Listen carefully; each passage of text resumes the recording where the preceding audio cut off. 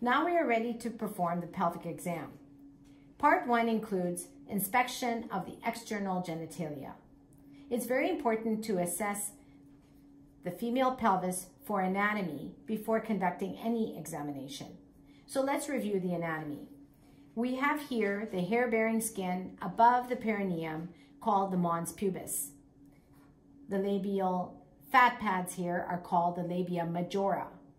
The inner folds are known as the labia minora, and the labia minora anteriorly meet to become the clitoral hood, or the prepuce of the clitoris. The apex of the clitoris is called the glans clitoris. The labia majora meet at the six o'clock location here in a structure called the posterior fourchette. And just underneath the vaginal opening, it lies the perineal body and just inferior to that is the anus. In order to visualize the structures that are contained within the medial aspects of the labia minora, it is important to put pressure on the labia majora at the 4 and 8 o'clock location like this. And then you're better able to visualize this, the vestibule that lies within. Purposes, I have placed my first two digits inside the vaginal canal to demonstrate the vestibule. At the apex of the vestibule is an opening called the external urethral meatus. And just inferior to that lie two glands called Skene's glands. And then if I was to remove my digits from the vagina, then you will see the opening of the hymenal ring, which is currently not present in our pelvic model. To complete the female anatomy, I want you to realize there are glands located at the 5 and 7 o'clock location called Bartholin's glands, and they are best assessed with the index finger and the thumb placed in this fashion. Now I'd like to talk to you about the rest of the examination of the external genitalia.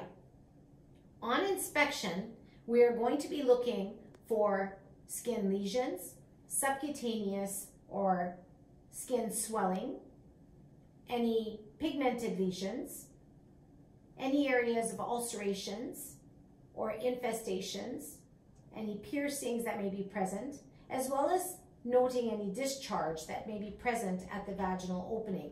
When you see discharge, it is important to comment on the color, odor, texture, and amount that, that may be present. This concludes the inspection of the external genitalia.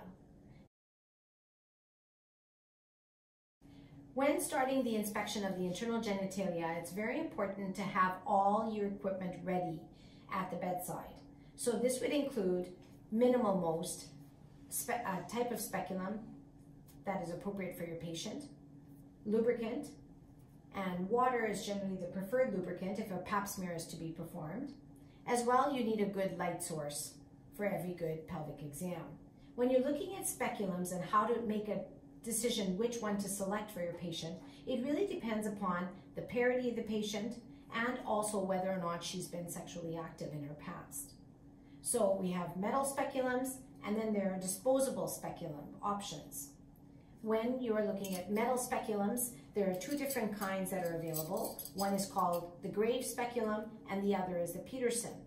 So you can see that the Graves is, is a larger duck-billed kind of a speculum and the Pederson has much narrower sidewalls. So this is meant, the Pederson is meant for the nulliparous patient and the Graves would be appropriate for the multiparous patient. When you're looking at a speculum itself, um, just to define the, the anatomy of the speculum, these are the blades of the speculum. Here we have uh, the thumb lever, that opens up the speculum in order for you to visualize the uh, contents of the vagina. As well, this is the thumb screw, that if you are releasing it, it allows for this, the blades to separate, and then you're better able to negotiate the vaginal walls in uh, women that may be grand multiparous patients. And then remember to lower it down and tighten the screw before you actually remove the speculum uh, from the vagina. So, in order to decide whether you're going to use a metal speculum or a disposable speculum, it really depends upon the institution you're in. If you're in private practice, I would think most people tend to have metal speculums that they can autoclave. It's much more cost effective, whereas in um, a hospital setting, uh, the institution may choose to use disposable speculums just to avoid the cost of sterilization and allow for fresh new instruments to be used for every pelvic exam.